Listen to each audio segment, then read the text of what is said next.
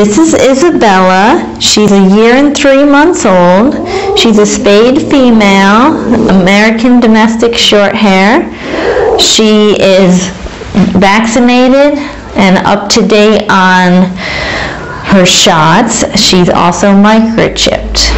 She is very playful and a little on the frisky side, and she's waiting for her forever home.